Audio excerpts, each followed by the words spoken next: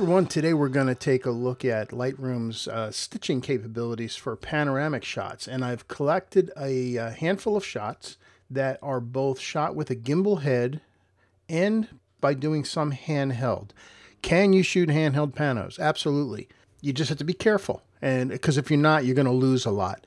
So you want to back off a little bit on your zooms when you're shooting handheld. But if you're shooting with a, a, a pano head or a gimbal head like I use, then you can just shoot the entire scene and it's going to line up perfectly. However, Lightroom doesn't quite see it so, but let's just go through the options. So I'm going to start first with this one. This is just a, uh, a four shot of Black Canyon of the Gunnison. And what I typically like to do is to adjust an individual image first. So let's go in the develop module. And as I look at this, let's see, we've got some clouds that are pretty bright.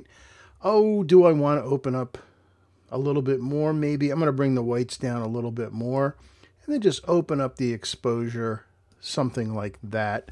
Let's hide the information for now. And then I'm going to sync it to all the other shots in the panoramic stitch. Now the beauty of Lightroom is that you can do this before or after you do your stitch because when you do your stitch it remains a raw file.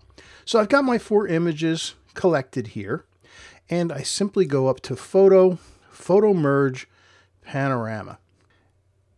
So what it's going to do is generate a thumbnail, and then there are a handful of options to take a look at. Now, when you shoot handheld, which this one was done, this was a real quick, I wanted to grab it for that person left. Uh, you can see you get all these, these images that don't quite line up exactly. And also Lightroom assumes that you're shooting handheld, so it adds this kind of sort of a scalloping effect uh, to, to straighten things out. But we'll, we're going to fix that. First of all, you have to decide a projection. I think probably 95% of the time you're going to want cylindrical. If you choose spherical, watch what happens. You can see it kind of compresses vertically. I've never seen a reason for doing that in my panos. There's also perspective, which can be really weird. So uh, generally for street scenes, if you're shooting down a long street, I find that works. Generally, cylindrical is where you're going to go. Now, down below here, you have the, a couple of different options that are very interesting. The first one is called Boundary Warp. What Boundary Warp does is it takes all the image and it just drags it out to the corners. So if I take this all the way, there you go. Now, in this case, it actually works because all we're doing is, is maybe stretching some trees and some clouds. That's okay. Let's turn that off just to look at the other options again. We've got Auto Crop, which will take what you've got without doing any kind of stretching or adjusting. The problem with auto crop is if you're doing a handheld, notice how much of the bottom we cut off and it really isn't working. Uh, auto settings I never use because I've already adjusted my image and auto settings for me personally, most of the time it makes the image look worse. I mean, that's not right. So let's forget that. Uh, create stack, by the way, that is for when you're doing HDR panos. So like you have, oh, maybe two or three shots of each stitch that you're going to put together. So we're not going to address that today. There's also a new option here called fill edges. Now, unlike Photoshop, Lightroom doesn't technically have a content aware fill. But when you use fill edges, it seems to all of a sudden come up with a a content aware fill and it's actually pretty amazing and in this case that works really well for this particular image so now I can simply hit merge and Lightroom does its magic. And you can see up creating a panorama up on the top. And we'll get to see it in just a second. Now, by the way, I'm running a Mac Studio uh, M2 chip uh, with a lot of power in it. You might find this stuff takes a little bit longer on your computer. So here's our shot. In fact, we can go hit F to go to full screen, let that draw in, and that looks pretty amazing. And that was just a handheld. So let's go back out of that. Let's take something a little bit more difficult to do. I've got a big stitch here. How many shots is this? Let's see, one, nine shots. All right, let's see how Lightroom handles this. So we're going to go again, photo, photo, merge, panorama.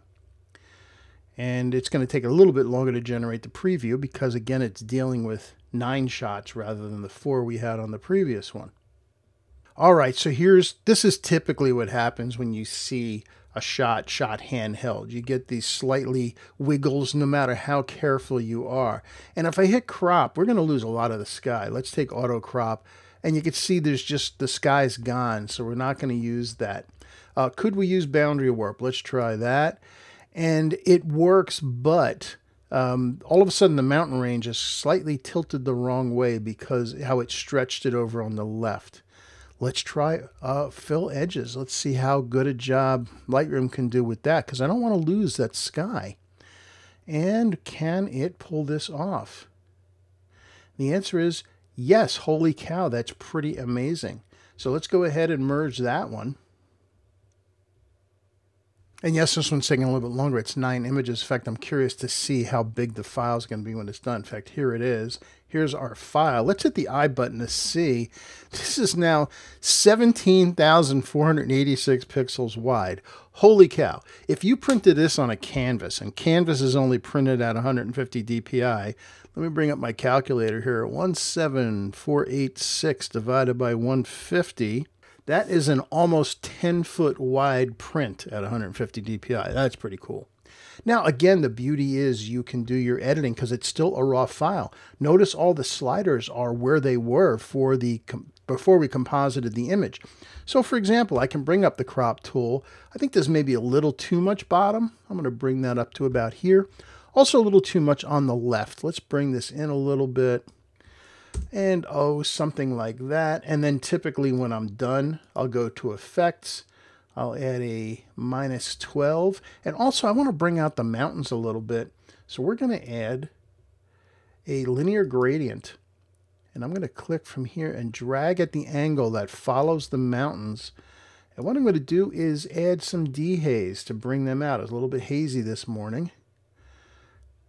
Actually, this is this is uh, is this sunset sunrise, sunset. I forget. I think this is sunset. Uh, so you see that brings a lot more contrast off into the distance. In fact, we'll add. A, no, I'm not going to add saturation. It makes the sky weird. Uh, I will bring it up brightness a little bit because dehaze does darken, and something like that. And you can see I cut it down. Now I only have 15,680 pixels. That's a lot of pixels. Let's take a look at that full screen. And that comes out pretty cool. All right, let's take a look and see what happens if you use a gimbal or a pano head.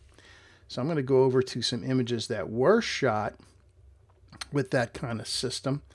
And we're going to take, oh, let's see, let's use this one. This, this last one here is a beautiful scene, beautiful sunrise in Grand Teton. So here's one of the middle images. We've got this cloud stuck on the top of Grand Teton. Beautiful scene shot with a gimbal head. So I'm going to go to Photo, Photo Merge, Panorama. And even if you're shooting on a gimbal head, Lightroom doesn't know that. It still assumes that you are shooting handheld. So it does this scalloping thing again, which is unnecessary. In this case, the easiest answer is just go to boundary warp because these images are shot stitched very closely to perfect. And we'll take a look at the finished panel. And again, this is what? This is six frames. So this is still going to be a pretty big image. And we'll take a look and see how big this one is when we're done. And here's our stitched frame. Isn't that amazing? And we'll hit I, and this is 10,882 pixels. Again, still good for a really big print, like a six foot wide print. I don't know how many of you are going to be printing that large. And again, you can do your edits as you normally would. Let's take a look at this at full screen, let that draw in, and maybe a little bit too much foreground. Yeah, let's, let's fix that. I can't let that go.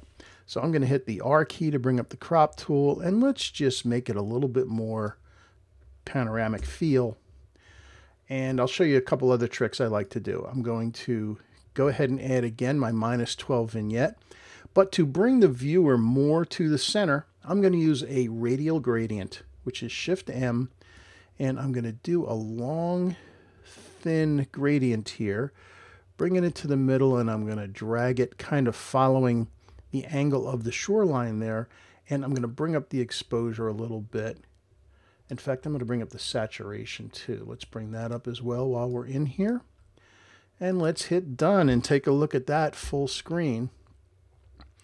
And there you go, an absolutely amazing panorama. And this is a huge file, which means you can make a really big print out of this, should you feel so inclined. So that's just a, kind of an example of the beauty of doing panoramics in Lightroom. It is extremely easy. It's extremely flexible. If you do a handheld, it can it can fix a lot of errors. If you use a panoramic head like I used here, everything just lines up perfectly and you don't have to worry about any distortions or any stretching to fill the frame. So that's using Lightroom for creating panoramics. Hope that was helpful. Give it a try. it makes for great images. And I hope to see you online again soon. Till next time, have a great week. Bye bye.